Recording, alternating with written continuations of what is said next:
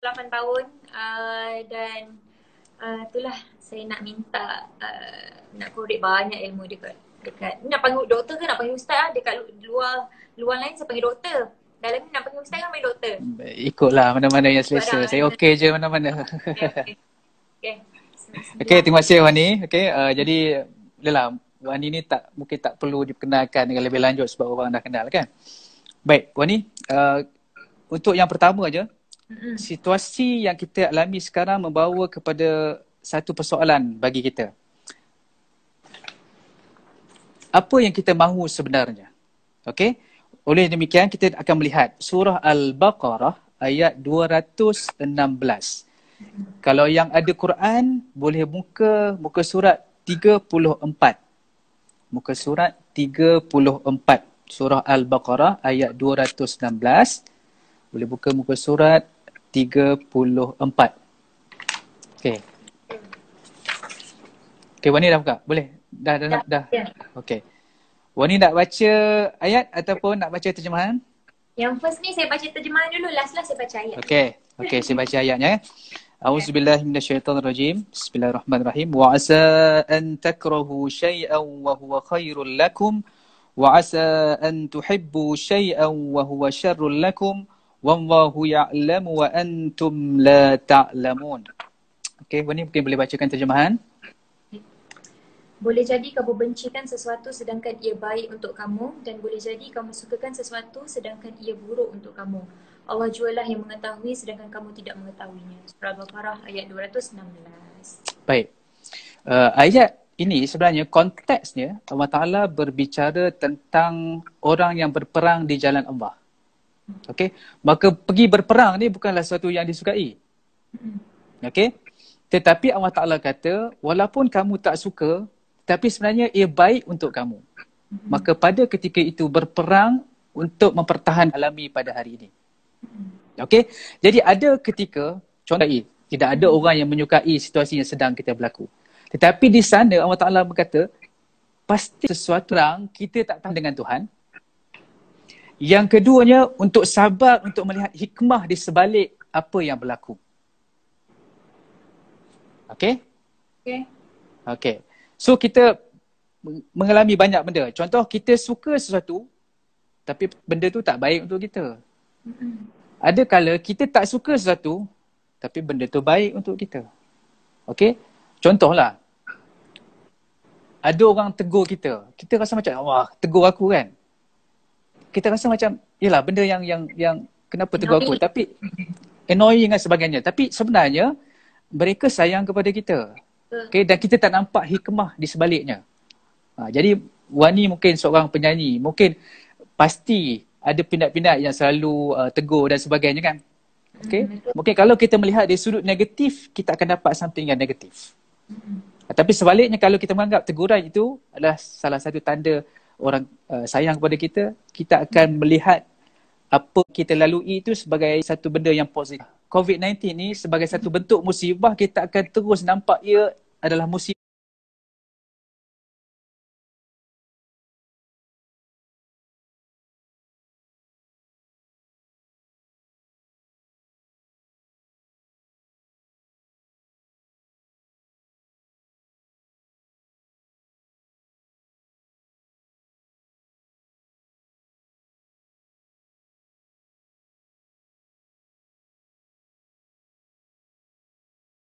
Semata-mata. Musibah ini sebenarnya membawa kita sebatara yang perlu kita buat, yang perlu kita fikirkan. Sebab itu Islam atau Quran sekali mengajar kita untuk think positif. Ha, itu benda yang perlu kita lihat melalui ayat ini. Okey. Baik. Saya nak bagi contoh, eh, uh, Wani. Ya. Yeah. Uh, ayat ini bagaimana orang terdahulu mengaplikasikan ayat ini. Contohnya, ibu Nabi Musa alaihissalam. Ingat tak kisah ibu Nabi Musa kan dia terpaksa hanyutkan Nabi Musa ke dalam air sebab takut nanti uh, Firaun datang membunuh anak lelaki. Okey. Kalau kita lihat menghanyutkan ibu eh ibu ada anak terpaksa menghanyutkan anak. Okey. Cuba Wani bayangkan. Wani menjadi seorang ibu. Hmm. Ada seorang anak terpaksa melepaskan anak tersebut. Apa perasaan Wani? Nak jen, nak jentik pun tak sampai hati ni kan lagi nak hanyut ah, kan. okay. Mungkin perasaan seorang ibu tu lebih kuat berbanding seorang lelaki. Okay. Okay. Ketika itu perasaan ibu itu sangat-sangat, yalah, satu perintah Allah Ta'ala untuk menghanyutkan Nabi Musa AS.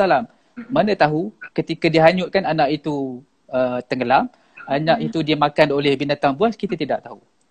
Tapi sebab tu saya kata, ada hikmah yang dia bukan datang dalam bentuk short term. Hikmah yang datang dalam bentuk long term. Maka ini perlu kita lihat bagaimana ibu Nabi Musa mengajar kepada kita. Okay, dan akhirnya Nabi Musa menjadi seorang Nabi. Okay, dan Nabi Musa menentang Fir'aun yang melakukan kezaliman. So kita nampak di sini antara bentuk hikmah yang sebab itu kita kena jadi orang yang sabar. Okay? So kalau kalau kita tak sabar kita akan kata apa lagi, apa lagi, apa lagi ni. Sebab ada orang kata sudah jatuh ditimpa tangga. Okay sebenarnya jatuh itu sebenarnya kadang-kala membawa kita untuk melihat muhasabah diri kita untuk lompat lagi jauh sebenarnya. Tapi kalau orang orang melihat kita jatuh itu untuk terus jatuh, dia akan terus jatuh. Okay. Sebagai seorang uh, artis sebagai contohnya. Kita tengok eh.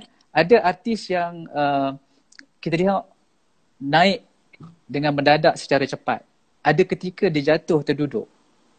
Ketika naik mendadak mungkin dia lah rasa gembira dan sebagainya. Tapi ketika jatuh, bagaimana keadaannya ketika itu? Ha, maka kita kena berhadapan dengan perkara ini. Bukan saja artis, okay, semua orang akan melalui perkara ini. Kadang-kadang kita berada di atas, kadang-kadang kita berada di bawah. Kita berada di atas, sepatutnya kita syukur. Dan apabila kita berada di bawah, sepatutnya kita muhasabah diri. Sebab tu kita kena selalu fikir bila mana kita berada di atas selalu tengok ke bawah. Sebab apa? Kita takut kita terus mendongak ke langit sombong dengan manusia. Okay? Jadi Alhamdulillah uh, saya lihat Wani ada sifat tawaduknya. Okay? Uh, uh, walaupun dia lah uh, artis yang terkenal Okay, tapi sudi untuk bersama Tadabbur Center sebagai contohnya bersama dengan kami uh, untuk sebarkan ilmu Al-Quran ini kepada masyarakat. Moga-moga uh, harap lepas ni sudilah untuk bersama dengan kami lagi kalau tak sibuk. Banyak lagi ilmu okay. okay, itu yang pertama, Ibu Nabi Musa. Baik. Yang kedua adalah Nabi Yusuf dan Nabi Yaakob alaihissalam. Okay, Nabi ingat, uh, apa nama Wani ingat kot cerita Nabi Yusuf dengan Nabi Yaakob? Mm-hmm. Okay, Nabi Yusuf ketika mana uh, dibuang oleh adik-beradiknya sendiri, okay, terpaksa berpisah dengan Nabi Yaakob alaihissalam. Okay, uh, perpisahan di antara Nabi Yusuf dan juga Nabi Yaakob merupakan satu musibah bagi kedua-dua mereka. Yalah, anak terpaksa berpisah dengan ayah.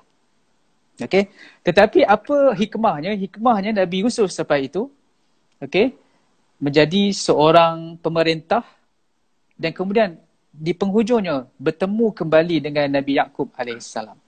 Okey, kalau kita lihat dalam Quran Nabi Yakub sampai menangis sampai buta matanya. Okey, disebabkan perpisahan di antara uh, dengan ibu dan ayah. Okey, contoh yang lain lah saya bagi. Contoh yang yang realistik yang yang yang kita boleh lihat ya. Uh, contoh, kita sepatutnya naik uh, flight kapal terbang ke satu tempat. Mm-hmm. Okey. Tetapi masa tu kita berada dari satu tempat nak ke airport mengambil masa yang agak lama dan kita terperangkap dalam jam. Okay? Kemudian apa yang terjadi? Kita terlepas flight tersebut. Okay. Okay. So kita nampak, ya Allah, aku terlepas flight. Nak pergi ke satu tempat yang memang perlukan apa nama, aku berada di sana dalam keadaan segera.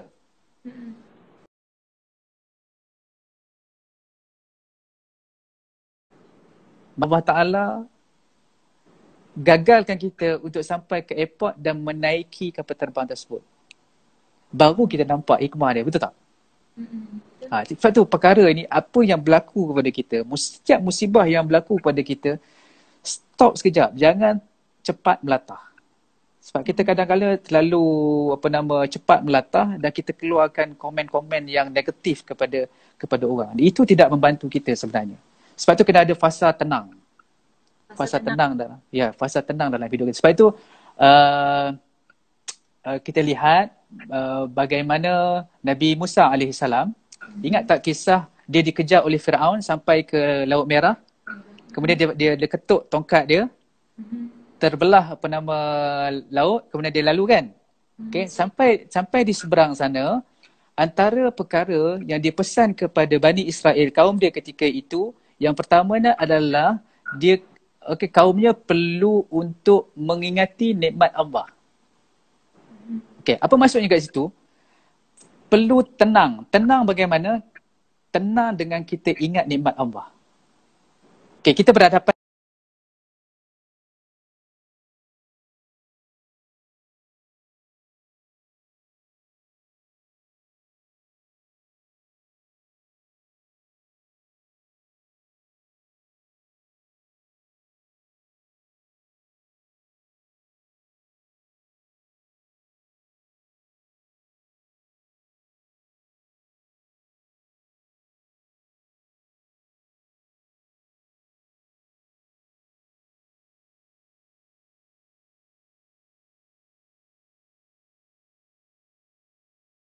musibah, Mhm.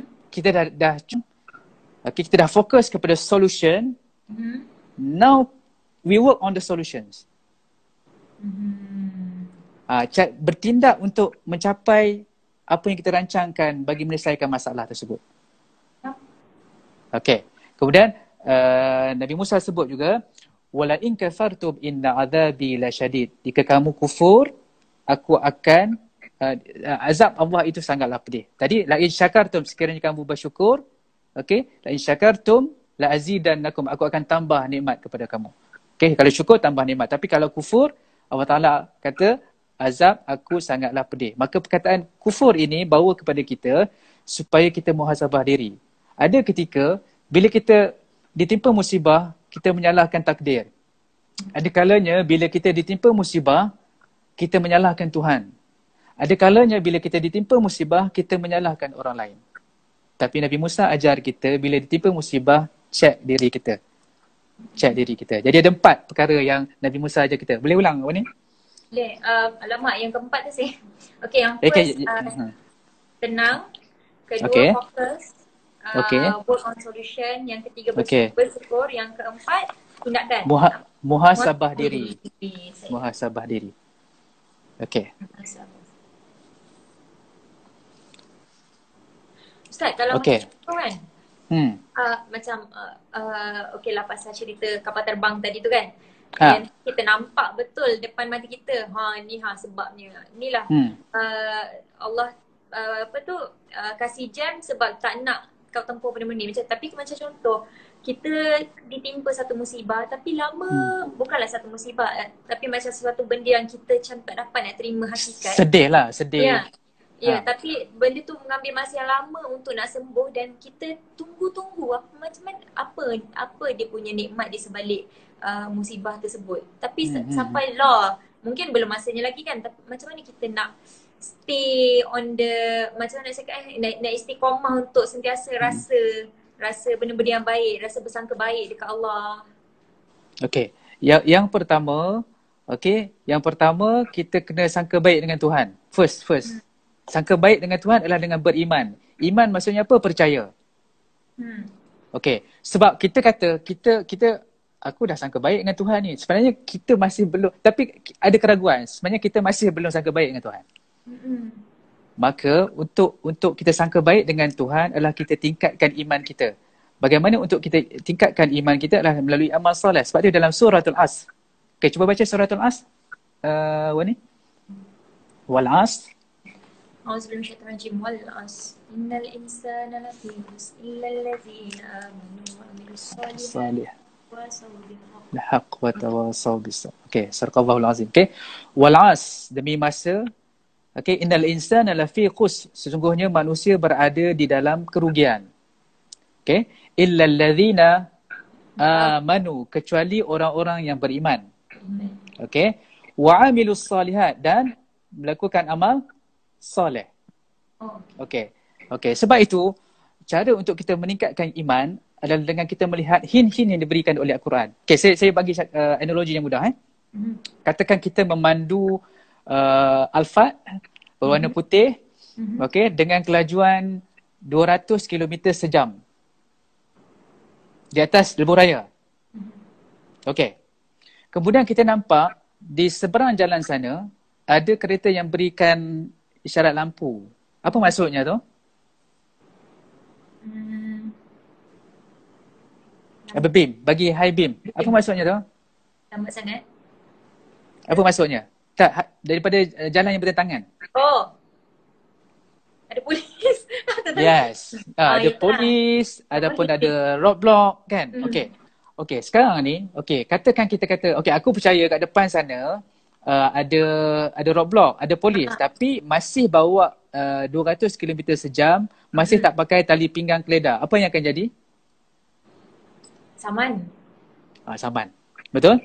Sebab itu, sebab itu macam mana nak sangka baik dengan Tuhan, ia tidak sekadar kita percaya eh. Uh, manu tadi, tapi kena susuli dengan wa amilus salihat.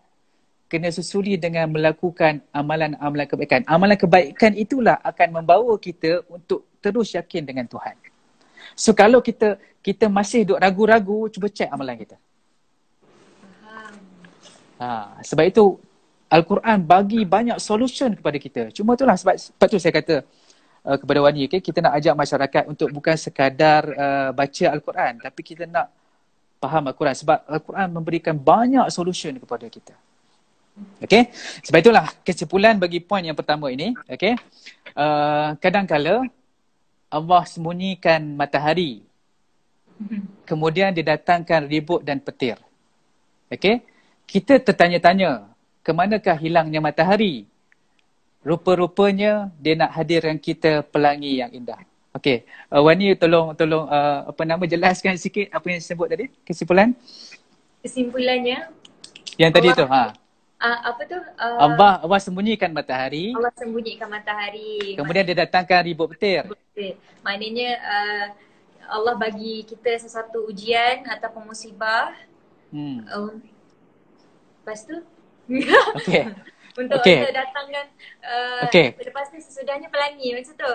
Ha, tu, kita tanya kat matahari tu pergi mana? Tiba-tiba Ah, Allah Taala hadirkan pelangi yang indah. Okey, apa maksudnya? So maknanya uh, Allah datang ke musibah, kita pun macam tertanya lah kenapa? Kenapa kita kan kita kita mencari-cari hikmahnya. Tapi kita tak tahu nanti di masa akan datang dan di waktu waktu yang tepat Allah je yang tahu bila masa dia nak bagi nanti akan ada sesuatu yang baik untuk kita. Confirm Ya. mesti ada. Okey, betul Wani. Sebab itulah kita kena kena faham Mm-mm. satu perkara. Okey. Kadang-kala dan kebiasaannya Allah Taala tak berikan apa yang kita mahu. Tetapi dia berikan apa yang kita perlu. Ada beza tak mahu dengan perlu? Dia Ya. Sebab kadang-kadang kita nak something tapi tapi kita tak dapat benda tu. Okey? Sebab itu bukannya kita perlu sebenarnya. Itu apa yang kita nak. Kita rasa dia penting tapi Allah Taala kata tak. Itu tak penting untuk engkau. Bukan untuk satu keperluan kepada engkau. Kadang-kala kita tak nak musibah betul? betul. Tetapi Allah Taala bagi musibah. Sebab apa? Sebab itu yang perlu untuk kita. Um, Okey, nanti kita akan bincang dalam ayat yang seterusnya. Okey? Jadi kita nak tengok poin yang kedua ini, okey? Apa yang kita lalui musibah ini, adakah ia ada petunjuk dari Al-Quran? Okey? Baik, kita akan melihat surah Al-Baqarah ayat 155. Boleh buka muka surat 24. Okey, muka surat 24.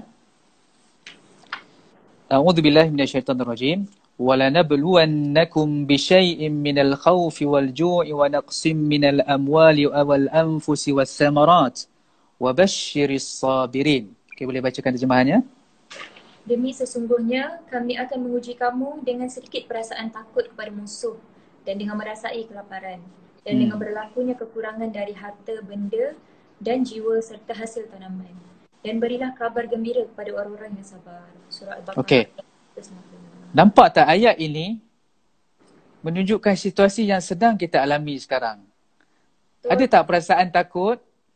betul, takut. Ada tak perasaan lapar? Mungkin ada orang yang tak tak dapat makanan dan sebagainya, okey? Okey, ada yang kekurangan harta? Pasti Ya. ramai orang yang tidak boleh bekerja. So ayat ini sebenarnya beri satu gambaran kepada kita tentang apa yang kita sedang alami pada hari ini. Jadi apakah solusinya? Okey, solusinya baca pada ayat uh, 156. الذين إذا أصابتهم مصيبة قالوا إنا لله وإنا إليه راجعون Terjemahannya? Iaitu orang-orang yang apabila mereka ditimpa oleh sesuatu kesusahan, mereka berkata, sesungguhnya kami adalah kepunyaan Allah dan kepada Allah jualah kami kembali. Okay, this is the solution. Okay, this is the solution. Apakah solusinya? Bila mana kita ditimpa musibah, Allah Ta'ala kata, Inna lillah. Kita selalu sebut Inna lillah wa inna ilahi raji'un ni masa bila? Orang meninggal. Seorang meninggal kan? Sebenarnya mm-hmm. tidak. Mm-hmm. Inna lillah wa inna ilahi raji'un ini bila mana kita ditimpa musibah, inilah apa yang kita perlu sebutkan. Cuma bukan sekadar sebut, kita perlu faham. Bila sebutkan Inna lillah, apa maksud Inna lillah? sungguhnya kita milik Allah. Maksudnya bila kita milik Allah, apa yang kita punyai sekarang ini ada nilai atau tidak? Ya, sementara. Adakah adakah rumah kita akan akan dibawa sekali bila mana kita meninggal? Tak. Adakah kereta kita yang besar akan akan dibawa sekali apabila kita meninggal? Tidak. Hakikatnya kita tidak punya apa-apa. Ha, sebab itulah jangan terlalu uh, mengejar uh, kekayaan. Bukan tidak boleh menjadi kaya, kena, jangan salah faham. Tetapi jangan terlalu obses kepada harta. Sebab kita lihat banyak ayat-ayat Quran yang berbicara tentang orang yang obses terhadap harta. Jadilah orang yang kaya, tapi orang kaya yang membantu orang lain. Okey, jadilah orang yang banyak harta, tetapi orang harta, yang banyak harta itu selalu membantu orang lain. Jangan jadi orang yang kaya, tapi mereka menjadi seperti Qarun. Jangan jadi orang yang uh, ada kuasa tetapi mereka menjadi seperti Firaun. Okey, Firaun telah mati, betul? Tapi sifat kefiraunan masih ada dalam diri manusia. Abu Lahab telah meninggal, betul? Tapi sifat ke Abu Lahaban masih ada dalam diri manusia. Okey, maka inilah yang perlu kita belajar, perlu kita muhasabah diri kita, okey? Tidak salah untuk menjadi kaya, tapi kita ingat kesemua itu bukanlah hak milik kita sebab kita ini dimiliki oleh Allah Subhanahu Wa Taala. Dan akhirnya kita akan wa inna ilaihi rajiun. Sebab tu bila ditimpa musibah, apa yang kita berlaku yang kita hadapi pada hari ini, apa yang perlu kita buat? Kembali kepada Tuhan. Kembali kepada Tuhan. Okey, check diri kita, ya Allah. Adakah ujian ini untuk aku dekat dengan kamu? Adakah ujian ini sebenarnya nak bagi satu mesej kepada aku, aku telah banyak melakukan kesilapan. Maka ini perkara yang perlu kita muhasabah dari kita. Sebab tu orang yang beriman, apabila melihat musibah, dia melihat dalam bentuk yang positif. Bukan terlalu fikir benda yang negatif. Okay? Baik, kita baca pada ayat yang uh, uh, seterusnya ayat 157. Ulaika alaihim salawatum mir rabbihim wa rahma wa ulaika humul muhtadun. Okey, terjemahannya. Mereka itu ialah orang-orang yang dilimpahi dengan berbagai-bagai kebaikan dari Tuhan mereka serta rahmatnya dan mereka hmm. itulah orang-orang yang dapat petunjuk hidayah Allah. Hidayah Baik. Baik. Sebenarnya, Wani, dan juga sidang uh, ahli usaha sekalian tujuan Allah Ta'ala bagi musibah ada satu perkara satu perkataan yang boleh kita belajar sini iaitu perkataan rahmah bila ditimpa musibah itu tanda kasih sayang Allah kepada kita mungkin ada ketika kita tergelincir dari jalan yang sebenar Allah Ta'ala nak kembalikan kita di atas jalan yang sebenar lalu ini sebagai satu tanda kasih sayang daripada Allah Subhanahu Wa Ta'ala dan ingat bila Allah Ta'ala mengatakan orang-orang yang dapat petunjuk hidayahnya, maka hidayahlah sebenarnya yang menyelamatkan kita di dunia dan juga akhirat. Sebab itu saya selalu sebut eh, hidayah ini umpama air. Okey? Apa jadi kalau kita tak minum air dalam masa sehari? Haus. Ya. Okey, sebab tu kita jangan judge orang. Sebab kita juga perlukan hidayah. Okey, ini yang sedang bercakap ni, yang pakai kopiah ni pun perlukan hidayah. Sebab kita sentiasa melakukan kesilapan. Sebab itu hidayah perlu kita pohon pada setiap hari. Sebab itu dalam surah uh, Al-Fatihah kita baca kan, ihdinas siratal mustaqim ya Allah. Tunjukkanlah kami jalan yang lurus. Kita doa pada setiap hari sebab apa? Setiap hari pasti kita melakukan kesilapan sama ada besar ataupun kecil. Okay? Baik. Jadi sekarang kita nak tengok apakah sebenarnya hikmah di sebalik apa yang berlaku. Okey, kita nak melihat surah Al-Ankabut ayat yang kedua. Wani cakap tadi nak baca ayat yang mana satu? Boleh. Sebenarnya syaitan rajim. Ustaz, Okey. betulkan kalau saya salah. eh? Okey, okey, sama-sama kita belajar. Bismillahirrahmanirrahim. أحسب أحسب الناس أن يتركوا أن يقولوا آمنا وهم لا لا Wahum la yuftanun. Wahum la yuftanun. Patutkah okay. mereka menyangka bahawa mereka akan dibiarkan dengan hanya berkata kami beriman sedang mereka tidak diuji dengan Ya. Yeah. Ya, yeah, betul. Sekarang ni seseorang itu akan diketahui imannya apabila dia diuji. Okey? Kita tengok perkataan wahum la yuftanun.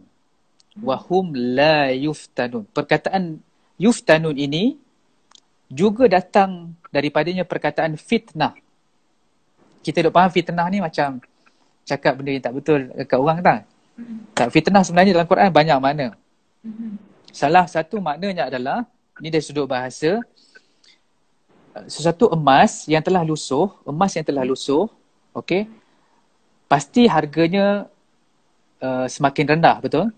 Macam mana kita nak kembalikan nilai emas tersebut? Macam mana Wani?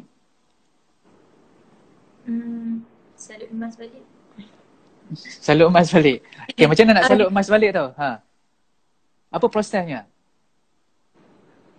Hmm, macam tadi emas yang dah lusuh. Lusuh, ha. Nilai dia agak kurang berbanding emasnya kan. So sekarang kita nak kembalikan nilai emas tersebut apa yang perlu kita buat? Buat apa Ustaz? Ha, kebiasaannya kalau kita pergi kedai emas, dia akan leburkan semula emas tersebut. Ah, faham. Okey, okey Hmm. faham. So sekarang ni kita nak kata, okey, untuk mengangkat darjat seseorang, Mhm. Allah Taala masukkan kita ke dalam musibah umpama emas yang dileburkan itu. So emas yang telah dileburkan itu apa yang akan jadi? Nilainya semakin semakin tinggi. Begitulah apabila kita berada di dalam musibah, sebenarnya Allah Taala sedang mengangkat darjat kita. Itu hikmah yang terbesar yang perlu kita tahu. Ha, that's why kena lihat dengan mata hati. Kalau kita melihat dengan mata kepala, kita tak nampak benda ni. Betul? Sebab tu sebab tu Al-Quran banyak menyebut tentang hati kan, hati nurani, hati nurani. Ini perkara yang perlu kita kita faham bila Al-Quran menyebut tentang hati ini tentang qalb dia bukannya hati yang fizikal Wani eh. Kalau Wani belajar medical dulu uh, heart tu kan. Tak, ia bermaksud hati nurani yang berbentuk spiritual. Okay. So inilah yang yang perlu kita jaga, yang perlu kita bersihkan pada setiap hari sebab hati inilah yang berikan signal ke otak kita untuk melakukan tindakan kita. Maka apabila hati bersih, tindakan kita akan menjadi bersih. Hati kotor dan tindakan kita menzahirkan apa yang hati kita apa nama terlintas dan sebagainya. Sebab itu sebab tu kita kita check diri kita eh. Kita jangan tengok orang tau. Kita check diri kita kalau aku buat satu yang buruk maksudnya ada something dekat hati aku yang masih belum bersih. Ha, that's why kita kena ajar diri kita. Jangan kita selalu tengok orang tapi tengok diri sendiri. Sebab kita tak boleh ubah orang, betul? Betul. Tapi kita boleh tak ubah diri sendiri? Boleh. Ya boleh. Maka kita ubah diri kita terlebih dahulu. Moga-moga dengan kita ubah diri kita, orang lain akan mengikuti dan dia turut mengikuti jalan kebaikan yang kita lakukan. Okay? Seronok kan bila kita kita tadabur ayat-ayat yang macam ni yang sebenarnya kita pernah terbaca ayat ni tapi lah kita tidak pernah mendalami ayat ni. Betul. Okay, ini, ini, ha, jadi ini antara perkara yang yang boleh kita belajar, okay, yang boleh kita kita lakukan apabila ditimpa musibah, okay. Kita kena faham, okay. Allah Ta'ala tidak berikan apa yang kita mahu, tetapi dia berikan apa yang kita perlu. Ha, maka jangan jangan terlalu mengikut hawa nafsu. Sebab apa? Sebab kita tak dapat apa yang kita nak. Ha, tetapi kita ikut apa yang Allah Ta'ala kurniakan kepada hati kita. Supaya hati kita bersih, supaya hati kita menurut perintah Allah Subhanahu Wa Taala. Okay? Okay, Wani, sebelum kita masuk kepada kepada ayat yang seterusnya, mungkin yeah. uh, Wani ada pengalaman ditimpa musibah dan mungkin nak share dengan orang ramai uh, bukan uh, secara spesifik, secara umum, macam mana cara kita berhadapan dengan musibah? Hmm, Weh, kalau nak cakap pasal musibah tu banyak lah. Dan hmm. Wani rasa masing-masing pun ada struggle masing-masing kan. Dan hmm. masing-masing pun punya um, masalah tersendiri dan musibah tersendiri. Uh, lain orang, uh, lain penerimaannya. Macam contoh, orang ni mungkin rasa benda ni, kalau contoh Wani cerita masalah Wani, orang orang ni mesti rasa macam, alah kecil je masalah. Tapi hmm. dekat kita besar kan. So hmm. macam lain orang lain, lain lain lah memang lain dia punya musibahnya tetapi um, kalau macam Wani memang Wani nampak ni sebagai pattern bukan pattern tapi Wani nampak ni dari dari dulu lah dah lama dari dulu hmm. um, kalau Wani uh, kalau Wani ada masalah ke apa ke memang Wani ni memang jenis cepat uh, berfikir tau dia, dia jenis, jenis cepat freak out cepat stres hmm. tapi Alhamdulillah ada ibu and dia dia yang um, paling orang kata tu paling paling tenang lah dalam dunia ni. Untuk macam okay tahu tengah tengah takut sekarang ni. Tapi cuba kita kita sabar. Kita dia yang balik uh, neutralkan Wani balik lah. Dia yang bantu untuk nak okay Wani relax. Hmm. so what can I do? Lepas uh, dah lepas uh, apa tu? Uh, macam contoh macam ada satu benda yang Wani macam susahnya nak hadap benda ni kan. Tetapi bila kita tenang, bila kita relax memang apa-apa pun kena back to basic, kena minta minta doa itu je yang itu je yang hmm. Wani Wani buat every time ada ada ada masalah sebab melalui itu je yang kita boleh rasa macam uh, rasa macam benda tu kecil je. Tuhan apa-apa Tuhan biar Tuhan settle. Never mind memang itu adalah uh, kita punya dugaan tetapi um, bila kita letak pengharapan tu bukan kepada sesiapa tapi kepada Allah rasa macam benda tu sangat sangat sangat sangat ringan. Hmm. Itu satu. Okay. Hmm. Uh, second uh, ni Wani punya nak Wani nak sharing je lah saja nak sharing. Hmm. Um, terjadi juga kalau uh, bila yalah kita orang kata tu iman turun naik kan. Bila hmm. contoh keadaan Wani macam dah selesa kan. Uh, hmm. bila dah selesa tu iman tu dia dah jadi macam uh, dia tak adalah dah, dah tak adalah nak bangun tahajud dah tak adalah nak uh, apa tu nak uh, baca Quran uh, tiap-tiap hari ke uh, selalu tau macam tu tetapi bila bila jadi macam tu kadang-kadang jauh-jauh di sudut hati kita rasa macam eh ni macam dah dah, dah start jauh-jauh je dah ni kan hmm. tetapi memang memang selalu saya tengok benda ni macam pattern kalau macam dah jauh sikit cakap mesti akan ada something benda yang terjadi yang membuat kawan ni macam uh, something musibah lah benda yang buat kita problem yang buat kita risau yang buat kita macam fikir tak betul kan. So at the end balik balik dekat uh, dekat jalan yang jalan yang betul lah which is kita minta kita minta doa kita minta maaf kita minta ampun ke Allah. Tapi itulah um, masih lagi tengah struggle untuk nak istiqamah masih lagi tengah struggle untuk even dalam kita tengah selesa itu sebenarnya yang paling kita kena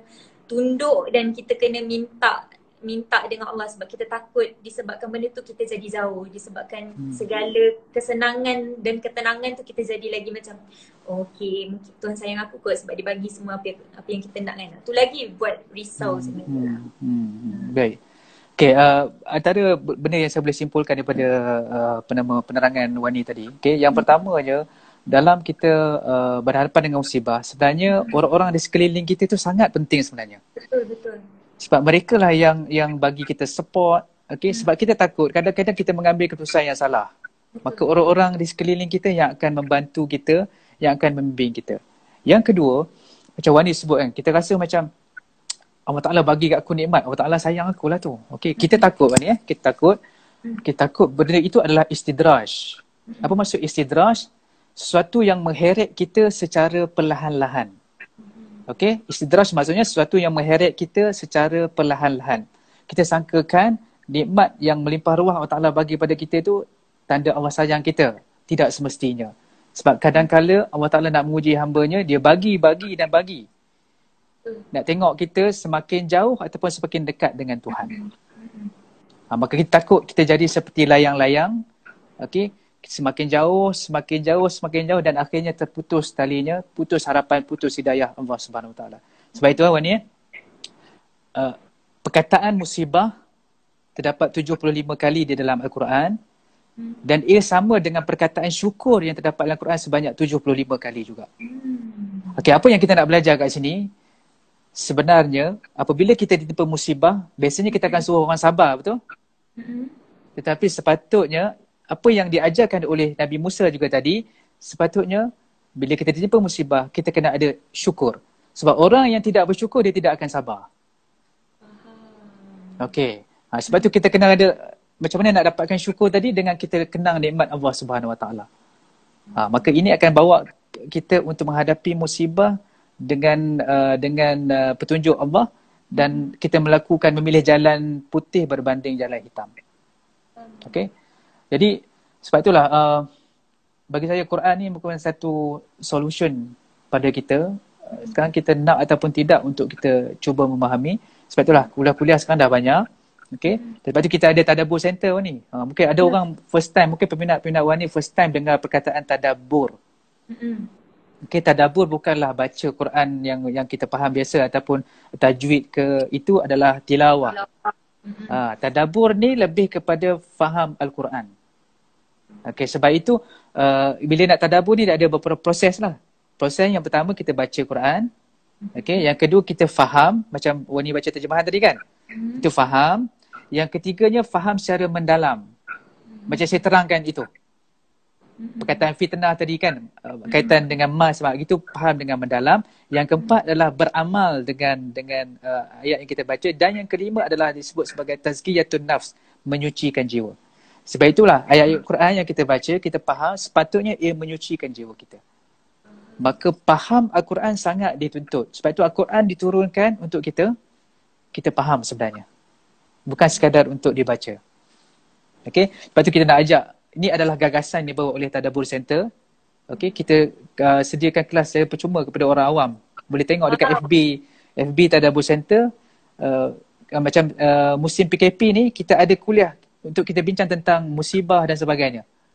Nak kita nak bagi panduan kepada masyarakat macam mana Al-Quran bercerita tentang musibah. Kita cerita tentang uh, macam apa yang berlaku kepada Nabi Yunus kan Nabi Yunus ditelan oleh ikan ikan paus ikan nun. Uh, so so kita cuba relatekan Al-Quran dengan kehidupan yang sedang kita lalui, masalah yang sedang kita lalui. Okay? Jadi uh, moga Wani pun boleh uh, support Tadabur Center dan sebenarnya Tadabur uh, Tadabur Center juga kita dapat support yang yang kuat juga daripada Menteri Agama kita yang baru.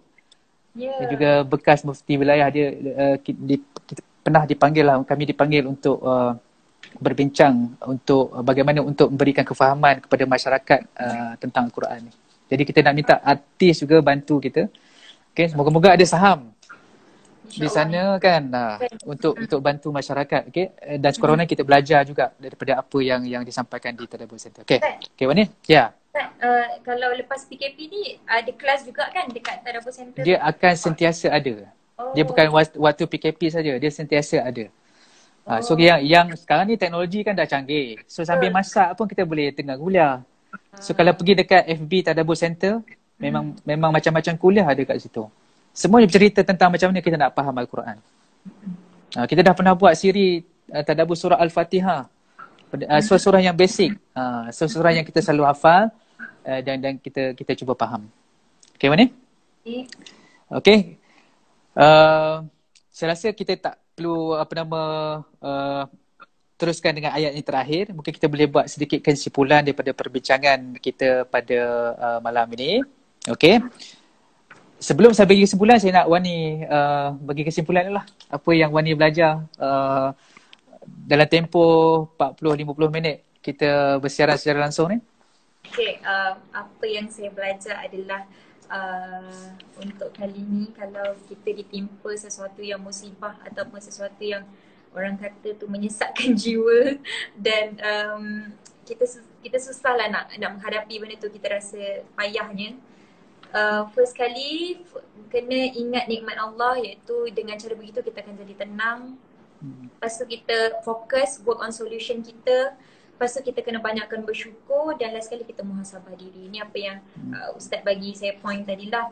Dan yang lain-lain um, Wani rasa memang at the end of the day kalau kita bukan saja kita ditimpa musibah tetapi kalau kita tengah di dalam ketet- masa yang sangat-sangat kita suka ataupun kita orang kata tu tengah bergembira lah uh, uh, pendek ceritanya. Tak ada tak ada uh, benda yang merisaukan tak ada benda yang um, tak ada problem lah. Uh, tengah dalam orang kata tu fasa gembira lah. Yang tu lagi kita kena jaga. kita kena jaga-jaga kita kena hmm. banyak. At the end of the day um, tak ada siapa pun yang boleh bantu kita kita kena balik balik balik balik tu basic iaitu cari Allah um, cari balik uh, cari Tuhan balik lah okay. Okay, terima kasih Wani. Uh, so kesimpulan pada perbincangan kita pada uh, usrah kita pada kali ini. Okay, yang pertamanya, setiap musibah yang berlaku tu pasti, pasti dan pasti ada hikmahnya. Okay. Sebab itulah nak cari hikmah perlu dengan mata hati. Kalau kita mencari dengan mata kepala, kita tidak menemui hikmah tersebut uh, musibah tu macam terlampau-lampau-lampau berat untuk kita. Betul ke kita boleh supaya kan ada ayat saya saya saya pun Wani pun tak pasti tapi ada ayat yang um, kita boleh doa yang untuk Allah uh, angkat balik uh, rasa apa tu segala musibah yang sebab kita tak tertanggung benda tu. Ya ya ya. Sebab doa sebenarnya so doa adalah senjata. Mm-hmm. Okey. Ada doa yang boleh mengelakkan kita daripada terkena musibah. Mm-hmm. Ah, maka doa perlu kita panjatkan. Perasan atau tak perasan, hari ini adalah 15 Syaban. Ya. Yeah. Nisfu Syaban. Okay, walaupun tidak ada amalan khusus ataupun uh, fadilat khusus pada pada 15 uh, Syaban ni tapi digalakkan kepada kita untuk banyakkan berdoa. Hmm. Okey, maka berdoalah kepada Allah dan insya-Allah kita akan akhiri usrah kita dengan doa insya-Allah. Ada soalan lain sebelum kita ni?